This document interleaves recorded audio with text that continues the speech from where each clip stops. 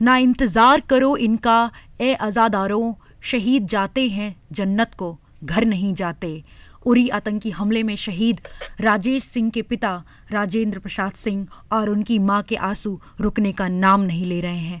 माँ बार बार अपने शहीद बेटे की तस्वीर को साफ़ करती है।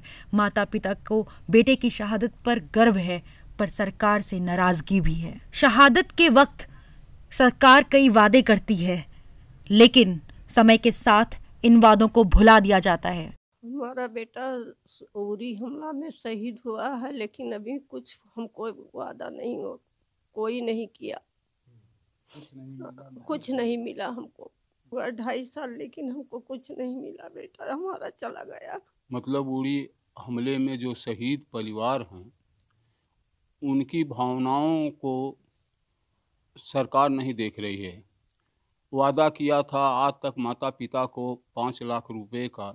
सरकार कागज़ पर तो बहुत कुछ करती है, नया काम भी ग्राम सभा से हो रहा है उसमें मतलब शहीद का नाम करने के लिए निकला था, उसको भी नहीं किया जा रहा है।